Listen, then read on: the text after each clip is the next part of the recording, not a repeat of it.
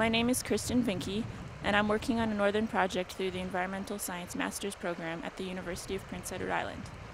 My project aims to test sampling protocols for subarctic streams and to develop a stream biomonitoring program for high school students in the Sahtu settlement area of the Northwest Territories.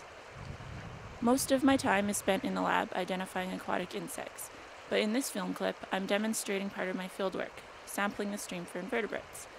At these sample sites, I, along with my assistants, a local Dene resident, and the communications officer for the Sahtu Renewable Resources Board, collect biological, chemical, and physical data. The data will be used to create baseline data for this region and to assess different sampling protocols that will be used in the stream biomonitoring program for the students.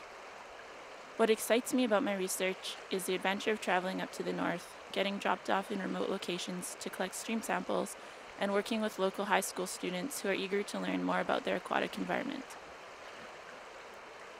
A particular highlight so far has been getting to travel along the ice road this past winter to each of the Sahtu communities to do aquatic insect science activities with the students. Because of the Garfield Weston Foundation support, I have the opportunity to travel again to the communities in the spring to take students on a field trip to local stream sites and actually put this biomonitoring program into practice and gather student and teacher feedback. The funding also greatly assisted me in conducting my research in Norman Wells this summer, allowing me to focus all my efforts on my research.